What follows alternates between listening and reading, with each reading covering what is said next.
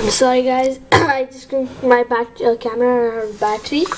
So yeah, so you get a system preferences icon right here.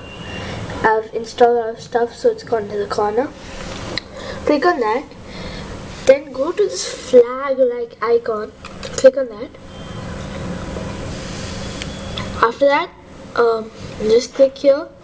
Um, there's a button here. In a different language, so that's what I'm telling you that is.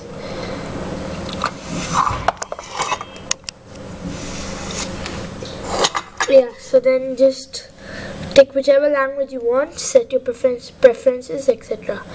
Yeah, so cancel this.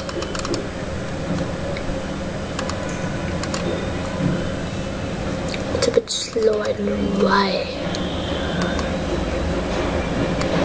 Yeah, then after that, you just go to the input sources, change it to US, um, formats, change it to whichever calendar and the, uh, your location, you can enter your location, region and all that stuff. Text. Yeah, so change that British English and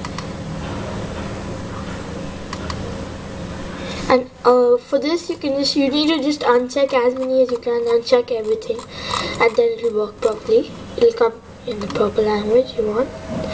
Yeah so that's it. We've got snow leopard on a pc please rate and subscribe